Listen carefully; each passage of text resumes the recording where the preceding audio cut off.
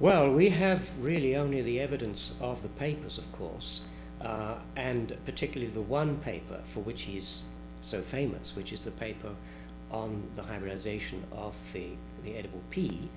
And uh, this is simply called uh, Experiments in Plant Hybridization.